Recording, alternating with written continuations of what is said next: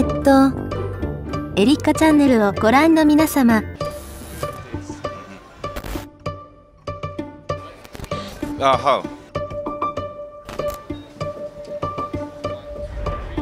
My name is Hiroshi Ishiguro. I'm a professor of Osaka University, Japan, and I'm also the visiting director of Hiroshi Ishiguro Laboratories in ATR.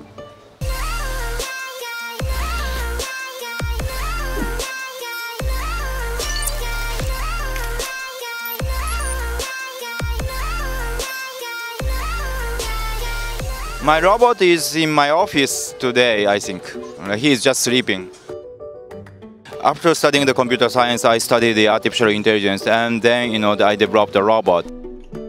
A ro- robot um, going, going to be uh, creative, but but I think uh, you know the uh, the creativity is the most important things for the humans. So that support the uh, human evolution. No, I don't know. what, what is that? No, no, I, I, don't know. Who is it? No, no, no, nobody knows in Japan. you know, ro- robot is going to take many roles, right? So the commercial is one of the important role for the robot, I think. We're gonna use a more robot, especially for the TV commercial and TV programs.